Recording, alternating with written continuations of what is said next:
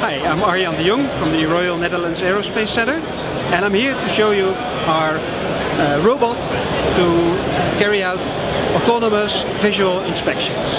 And this is particularly important because these inspections are uh, time consuming, there are a lot of visual inspections on aircraft and this may be a tool to help you improve your productivity.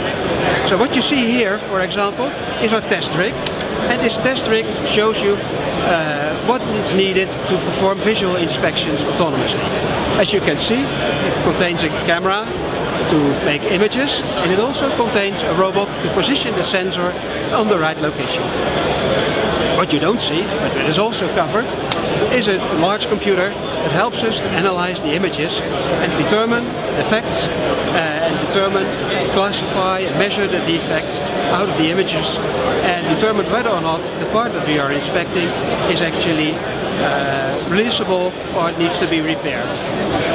Now, the big effort that we are trying uh, at this moment, uh, the big effort that we are making is to see if we can uh, automate this process to the level that there's no human involvement required. So that the robot can do it actually on its own, autonomously, so that we can actually, at the beginning of the shift of the robot, uh, send it out with a couple of repair cards, and at the end of the shift, the robot comes back to us and gives us the results uh, in a reportable format. So this technology is uh, quite complex. I think that for simple defects, for simple structures, for simple objects, it is quite feasible to actually uh, develop uh, robots and do automatic inspections uh, at this very moment.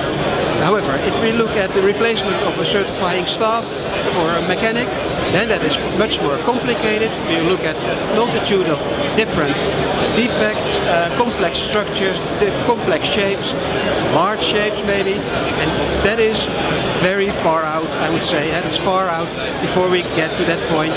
So we need to take it in small steps, start off with the practical things, the low-hanging fruit, and then commence as, as, as we go.